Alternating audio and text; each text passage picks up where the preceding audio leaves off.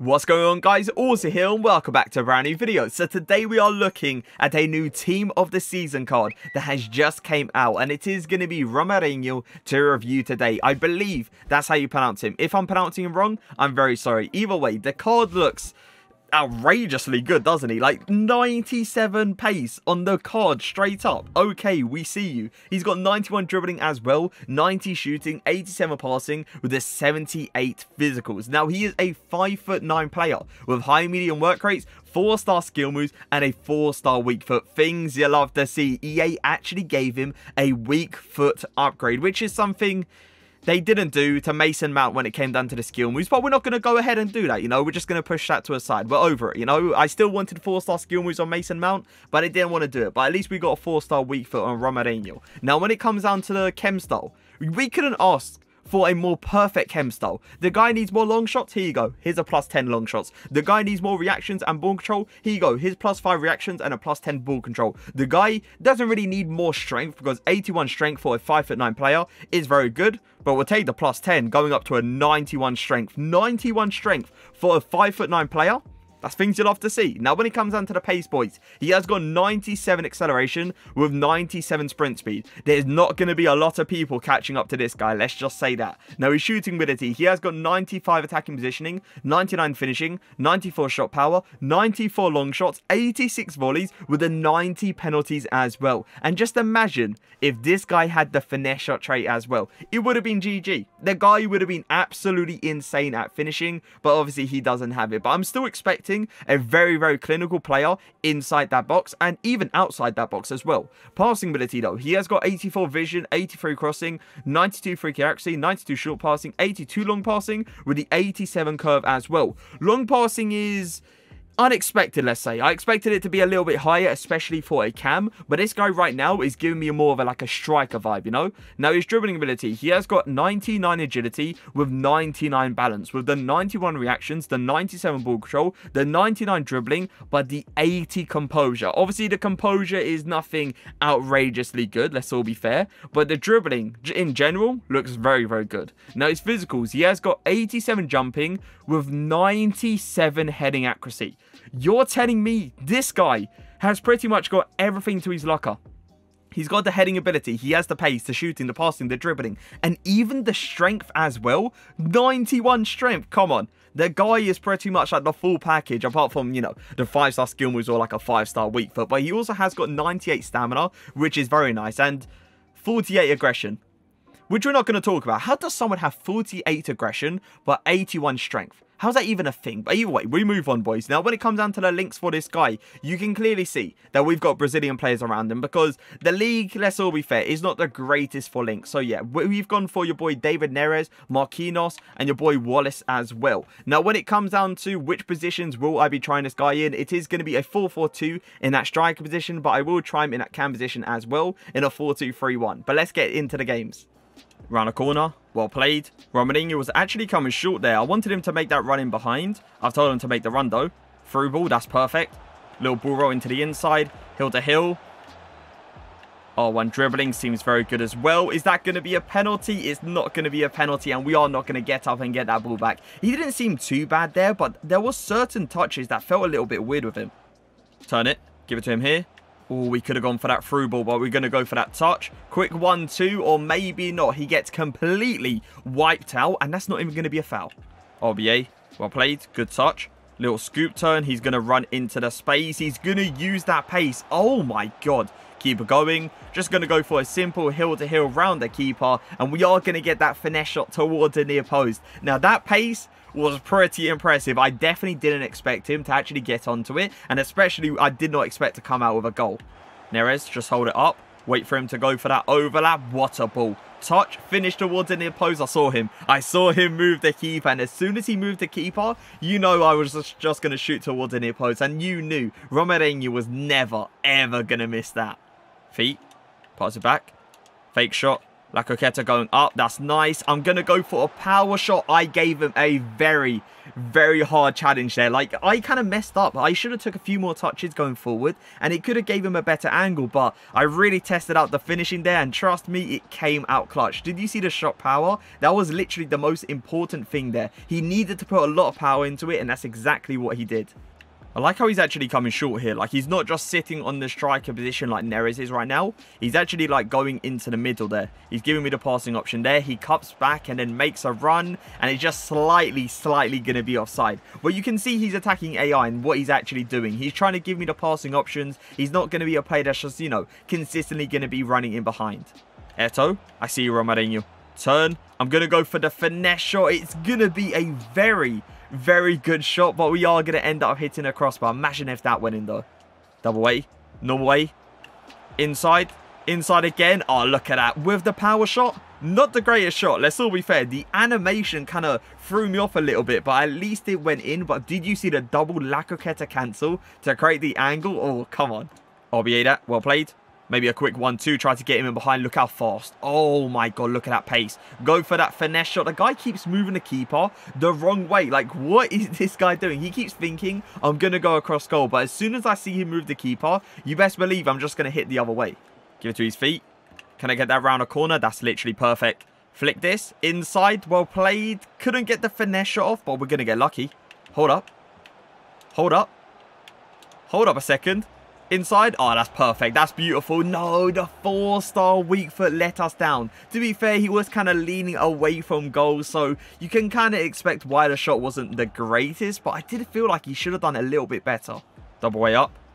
Good touch. I've noticed it, by the way. It doesn't matter how hard I hit the ball at this guy. He always, always takes a good touch, and that is exactly what you want to see. Maybe I can create an angle. I've done well. No, and the block is actually going to come out. You can see, though, the way he keeps that ball very close to his feet, allowing me just to try to get these, you know, quick angles. At the start, for some odd reason, his R1 dribbling didn't feel, like, great at all. But I've started to kind of feel it a bit more, and I'm telling you, the way he keeps it nice and close, the way he's kind of quick with it, it's very, very good to see. Pass it down. He's in. Fake shot going up. Oh, a scoop turn. I'll definitely take the scoop turn because the scoop turn there gives me a better angle to go for that power shot. And look at the finish. This is what I mean. You get this guy on his right foot and you know it's going to go in. You've seen multiple times the accuracy and the power literally be spot on. Can I give it to his feet here? I can. Go for a fake shot. There you go. That's perfect. Around him. Little ball roll few step overs. Can I get a ball roll again? He uses his strength there keep, to keep on the ball, but the aggression, you can see he kind of gave up halfway through trying to actually fight for it. And that is where you're going to notice a player that would probably have like 80 aggression there, probably would have came out with that ball. But because he hasn't got the greatest aggression, he isn't really going to win it. Oh my god, I was about to score some one hell of a goal as well with him. Give it to David. Nice. Pass down, well played. Shield it off a little bit. Gonna go for the finesse shot early, and we are gonna get the goal. As soon as I saw him bring out a keeper, I knew to go for that shot early, and we obviously get the goal off it. And this guy is gonna go ahead and rage quit. He's in. Played that through ball. Well played. Pass it back up. Go for a first time bridge to get the acceleration boost. Use that pace to get round him. Double ball roll. Step over. Hill to hill. Oh, stop it. No, I even did the little shot cancel and everything to see if I can get an angle, but it really didn't work out. I'm telling you boys, he's dribbling his top tier, and I'm going to be honest, I haven't really seen that composure come into play. Usually with players that have around 80 composure, sometimes you do notice if they're getting pressured, they may take like a very bad touch at a very odd occasion. But I'm telling you guys right now, I haven't seen that occasion just yet. Gonna call him short because I saw he was about to make that run. Go down. Wait for it. Inside, good touch, that's perfect, and we are going to get the finish as well. Do you see what I mean about his skill moves? Like, he, he keeps it so close to his feet, which allows me to combo it up a little bit, and it allows me to just, like, get into these angles that my opponent don't really expect me in. I've sent him on a through ball. Maybe I can hit it. That's a good through ball, and it is going to be slightly offside. That is one way that a lot of people, I feel like, is going to use this guy. Because of how good his pace is, I feel like a lot of people, especially with the FIFA 21 meta, is just going to send this guy on a run. And you know, you know he's going to get on the end of it because he's done it in multiple occasions. Get an RBA, get a fake shot, pass it all the way down. That's perfect.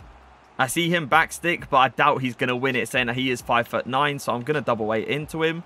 R1 dribbling LBY, that's a ball. Oh my god, that through ball literally, literally had to be pinpoint perfect. And it exactly was. And Reus, what a body and what a finish. Oh, one dribble of Wallace. He's clearly not the greatest. We're going to pass down. Quickly get away from his feet into the middle. Referee, surely, I was about to say, surely that's going to be a penalty. I don't even think, by the way, the guy was actually controlling him. He just, you know, the guy just tackled me from the behind, but hey, I'll take the penalty nonetheless. Now, he's got 90 pence, so you best believe there's only one thing we're actually going to go ahead and do. And it is going to be the chip towards the top bins. It's going to be perfect. And the keeper is going to dive under it. And we are going to get the goal. So it is time to review, and we ended up playing three games with Romarinho. We scored ourselves nine goals, and we even came out with a cheeky assist as well. And what an assist it was. It was a perfect over-top through ball over to FUT Birthday Reus and we all knew, as soon as he hit that volley, it was going to go in. We don't expect anything less, anything less from a FUT Birthday Reus. Either way, this card is going for 400k, aka he's extinct. Do I believe he should be extinct? Do I believe he should be going for 400k? I don't believe so. Like, a player from this league going for 400k, I definitely feel like it's overpriced. And it's understandable why it's overpriced right now, simply because he just came out. He's a very hyped up player. So, you know, people want to try out a card. People want to see how good he is. So that's the only reason I feel like the card is currently extinct. I feel like once the hype goes down a little bit, the card will probably settle, out, settle down at like 250k. 250k because of the links that he gets is 100% understandable. But for 400k, I feel like it's slightly overpriced. But let's get straight into the ratings. Pace-wise, I am going to give him, I would say a 9.7 a 9.7 out of 10. I don't believe he deserves any higher than that simply because I have felt faster players. Team of the year, Alphonso Davies being one, team of the season, Rashford being the other. You know, those two players are extremely, extremely quick in this game and they are faster than Romarinho. So yeah, I can't give this guy a 10 out of 10, but he definitely deserves a 9.7. Shooting ability, get this guy on that right foot, you know it's going to fly into the back of the net. But on the left foot, it was a little bit questionable. I felt like the power was 100% there, but the accuracy really wasn't. But I'm still going to give him a high rating for the shooting, and it is going to be, I would say, a 9.2 out of 10. I feel like if that left foot was slightly better for me personally, I'd probably boost up to like a 9.3 slash 9.4. But for now, I'm going to keep at a 9.2. Passing ability, you saw the passes this guy was doing. Keep in mind, there was no upgrade to the long passing, and you saw how perfect it actually was. So for passing, I am going to give this guy, I would honestly say, like an 8.8 slash an 8.9 out of 10. He 100% deserves it. Dribbling ability, I must admit, I didn't really notice, like, barely any composure coming to play. Like, I thought this guy, in certain occasions, while getting under pressured, he was going to kind of worry a little bit. Not worry, sorry, panic a little bit. And then all of a sudden, he might take, like, a bad touch in a certain occasion. But he wasn't doing it. He simply was not doing it. And it was really, really surprising. So, for the dribbling, boys, I am going to give this card, I'll probably say, I'll probably say like a 9.4. A 9.4 out of 10. He 100% deserves it. If this guy had like 5-star skill moves, oh my god the amount of things you could do with him would have been absolutely ridiculous. But obviously, you know, 4-star skill moves is not bad at all. Physicals. I did feel like the aggression did let him down in a lot, and I mean a lot of occasions, which, which was really, really annoying because I knew if I had a player that had like 80 aggression minimum in that occasion, I would 100% come out with a ball. But this Romarinho card right here, he backs away from a lot of stuff, which is really annoying. Saying that he's got 91 strength, I need him to use that, you know, I need him to get in into that contact-to-contact situation, and I need him to bully the player off the ball. But for some odd reason, his aggression, his aggression was just completely backing him away from that situation and just allowing the player to come in for the ball, which was really, really annoying. So for physicals, I am still going to give him a decent rating, but it's not going to be a rating you probably expect. And I am going to give him, I would say, like an 8 out of 10. I don't believe he deserves any higher than that, simply because of that aggression. But overall, rating out of 10, boys, he is an amazing card, and his movement in that striker position was so, so, so good. So I am going to give him, oh, I'm going to give him a 9 point,